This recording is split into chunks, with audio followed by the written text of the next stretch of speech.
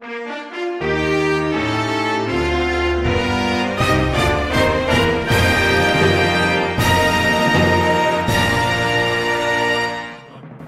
cao vai trò lãnh đạo toàn diện của Đảng bộ, đưa nhà trường sớm trở thành một đại học nghiên cứu, có chất lượng đào tạo và nghiên cứu khoa học đạt chuẩn khu vực, trong đó phát triển một số ngành chuyên ngành đạt chuẩn quốc tế, góp phần đắc lực vào công cuộc phát triển đất nước.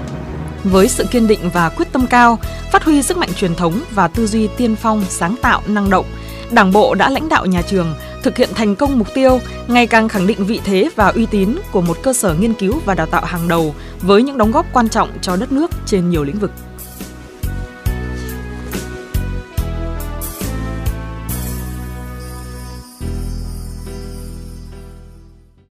Với mục tiêu phát triển theo định hướng đại học nghiên cứu, Đảng ủy Trường Đại học Khoa học Xã hội và Nhân văn xác định nâng cao chất lượng hoạt động nghiên cứu khoa học sẽ là cơ sở nâng cao chất lượng đào tạo, chất lượng đội ngũ và tạo dựng uy tín khoa học cho nhà trường.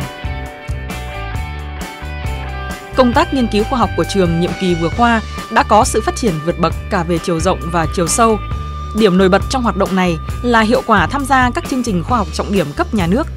Các đề tài đã cung cấp luận chứng khoa học cho việc xây dựng các chính sách phát triển kinh tế xã hội, bảo vệ chủ quyền biên giới hải đảo.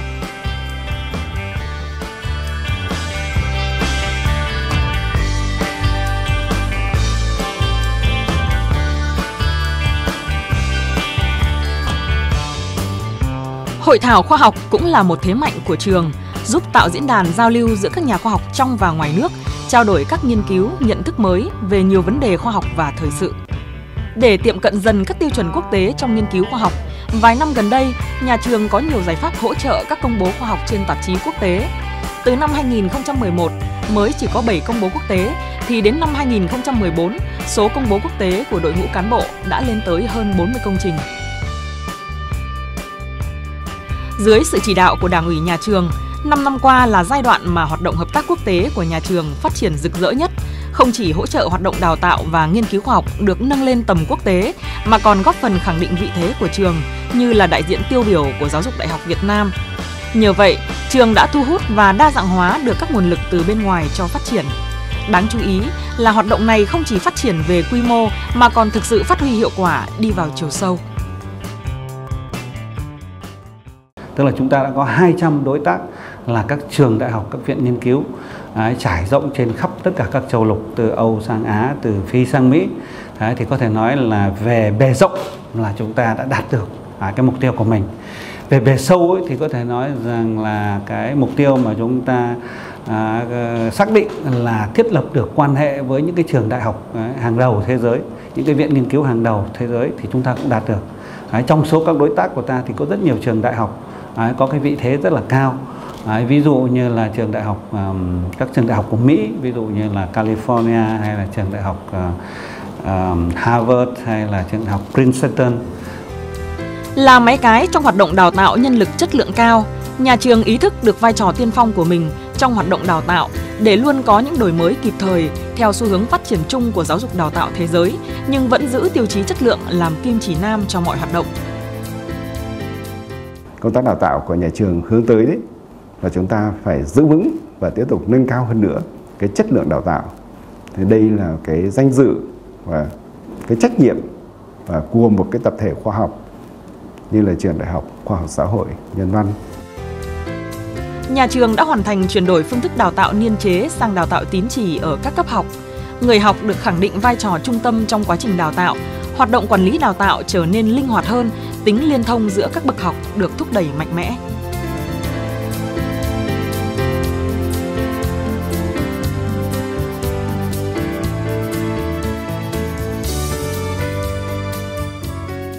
Đào tạo theo tín chỉ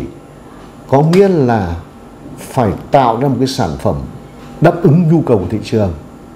Sinh viên ngoài cái việc được trang bị kiến thức, kỹ năng thì còn được trang bị thêm những cái đạo đức cá nhân đạo đức nghề nghiệp và trách nhiệm xã hội do vậy cái sản phẩm đào tạo theo tín chỉ có thể nói là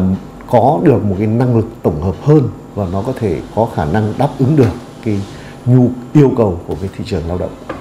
đối với uh, xã hội hiện nay ạ thì uh, công nghệ thông tin đang rất phát triển việc uh, sinh viên được uh, tự chủ trong quá trình học tập là rất cần thiết ạ. Như trường Đại học Khoa học xã nhân văn ạ, để sinh viên có thể tự chủ đăng ký môn học trên portal và tự mình khai thác những thông tin tài liệu học tập làm việc rất có ích cho sinh viên ạ. Bên cạnh việc tiếp tục mở thêm những ngành đào tạo mới theo nhu cầu xã hội, Đảng bộ nhà trường cũng chủ trương phát triển thêm các chương trình đào tạo chất lượng cao theo hướng đạt trình độ quốc tế, mở rộng các chương trình đào tạo liên kết quốc tế. Khoa Việt Nam học tiếng Việt là một khoa đào tạo vừa có sinh viên Việt Nam lại vừa có sinh viên quốc tế và các sinh viên quốc tế học ở khoa chúng tôi thì uh, có nhiều hệ tức là vừa ngắn hạn vừa dài hạn vừa cử nhân vừa chương trình hiệp định của các nước với ờ, hơn 30 quốc tịch. Các chương trình đào tạo bằng kép được xây dựng trên cơ sở kết hợp giữa các chương trình đào tạo hiện có trong trường hoặc kết hợp giữa các chương trình đào tạo của các đại học thành viên trong Đại học Quốc gia Hà Nội.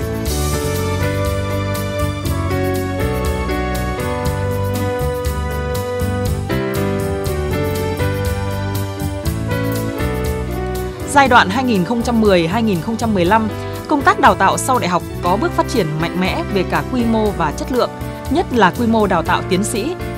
Mỗi năm trường đào tạo khoảng 140 nghiên cứu sinh, trong đó có khoảng 20 học viên nước ngoài. Tỷ trọng quy mô đào tạo sau đại học trên tổng quy mô đào tạo chính quy vào khoảng 37%. Để cái mục tiêu cuối cùng đấy và mà chúng ta hướng tới là các cái sản phẩm đào tạo của chúng ta ở cả bậc cử nhân rồi ờ, thạc sĩ và tiến sĩ nó phải trở thành cái nguồn lực để thúc đẩy cái sự phát triển kinh tế xã hội của đất nước và góp phần để thực hiện thành công cái sự nghiệp công nghiệp hóa, hiện đại hóa và hội nhập quốc tế của đất nước ta. Mặt khác đấy, các cái sản phẩm đào tạo đó đấy nó có thể trở thành cái nguồn lực chung có thể tham gia vào cái thị trường tri thức và cái sự phân công lao động quốc tế Kiểm định chất lượng đào tạo cũng là một lĩnh vực mà nhà trường đi tiên phong và sớm phát huy hiệu quả của hoạt động này trong công tác đào tạo.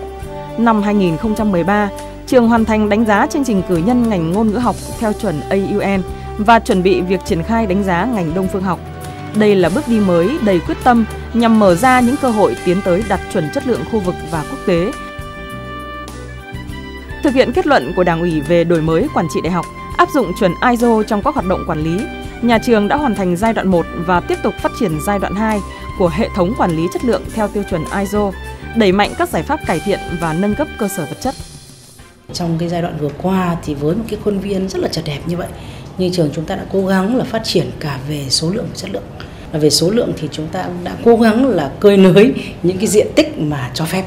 Đó, ví dụ như nâng tầng một số nhà, thế rồi là cải tạo ờ, nhà em mở. về chất lượng thì dưới sự chỉ đạo của đảng ủy và ban giám hiệu thì các bộ phận chức năng cũng rất là quan tâm đến cái việc là nâng cao cái chất lượng của cái cơ sở vật chất kỹ thuật ờ, cụ thể là các phòng học thế rồi là các cái ờ, nơi làm việc cho cán bộ giảng viên trong nhà trường để làm sao mà tạo điều kiện tốt nhất để cán bộ giảng viên nhà trường với những cái điều kiện cho phép thì chúng ta có một cái cơ sở tốt nhất để phục vụ cho công tác đào tạo cũng như nghiên cứu khoa học của nhà trường. Xác định nguồn nhân lực chất lượng cao, trình độ cao là yếu tố then chốt, chiến lược, quyết định sự phát triển của một trường đại học. Đảng ủy đã ra các kết luận quan trọng về đẩy mạnh công tác đào tạo, bồi dưỡng cán bộ hướng tới đạt chuẩn quốc tế. Kết luận này đã là kim chỉ nam cho việc thực thi nhiều chính sách tích cực, tập trung và thể hiện sự đầu tư mạnh cho hoạt động phát triển đội ngũ. Đảng ủy và ban nhà trường ờ, đặc biệt là quan tâm tới cái việc đào tạo bồi dưỡng đội ngũ cán bộ trẻ trường đã có những cái ờ, chính sách ưu đãi ờ, từ cái việc giảm cái giờ nghĩa vụ đến miễn học phí rồi các cái hỗ trợ về kinh phí ờ, cho học viên là học thạc sĩ cũng như là nghiên cứu sinh. Là cán bộ của trường trong cái quá trình học tập và và uh, hiện nay thì ờ, theo cái thống kê của phòng tổ chức cán bộ là có tới 103 các cán bộ trẻ của trường đang theo học nghiên cứu sinh và trong tương lai gần, có thể là 3 năm mà 4 năm tới thì sẽ có gần ấy à, hoặc là cũng gần được gần ấy à, các cái tiến sĩ trẻ thì đây là một cái đội ngũ hết sức quan trọng góp phần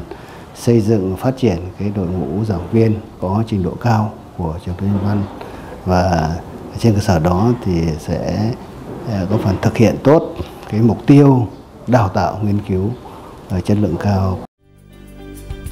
Trường Đại học Khoa học Xã hội và Nhân văn có được thành công trong 5 năm qua là nhờ Đảng bộ nhà trường đã làm tốt công tác chính trị tư tưởng, tạo sự đồng thuận và gắn kết trong toàn Đảng bộ.